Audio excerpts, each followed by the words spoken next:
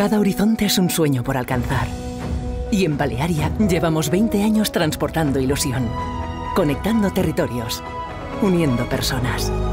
Si tú también tienes un sueño, queremos llevarte hacia él. Prepárate, porque lo mejor está por llegar.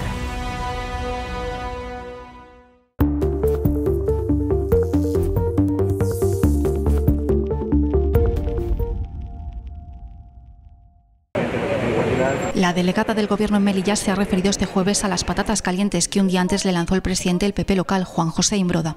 Sabrina Mo ha zanjado las cuestiones referentes a la frontera y la aduana comercial, explicando que ya se está trabajando en ello. Más crítica se ha mostrado, sin embargo, en lo que se refiere al paso de borregos para el Aid del Kebir y ha acusado al Gobierno local, ahora en funciones, de llevar tres años boicoteando la fiesta. Han estado con el tema del borrego, sin ir más lejos, tres años, y digo tres años boicoteando la fiesta, porque la fiesta de Aid del Kebir, porque incluso el año pasado que se podía perfectamente pasar el borrego siempre y cuando la ciudad autónoma hubiese colaborado y hubiesen entregado esa autorización y no se ha querido hacer, me parece que ahora empiecen a hablar de este tema como si le importara, bueno, pues cuanto menos me resulta atrevido. Mo sí ve un problema añadido en la detección de varios brotes de fiebre aftosa, por lo que pide, ha insistido, una solución dialogada y a largo plazo. Sabéis que se han detectado varios eh, brotes de fiebre aftosa, pero lo que hablábamos no solamente este año, sino también desde el año pasado, es de que ya es hora de que nos sentemos y busquemos